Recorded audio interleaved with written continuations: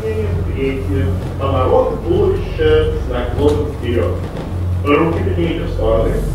Сгибая руки, наклоните туловище вперед и коснитесь левым локтем бедра правой ноги. Правую руку заложите за спину. Раз, два. Выпрямитесь и поднимите руки в стороны.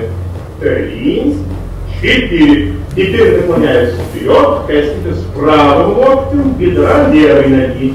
Левую руку за спину. Раз, два. В исходное положение. Три, четыре. Вдохните, продолжаем.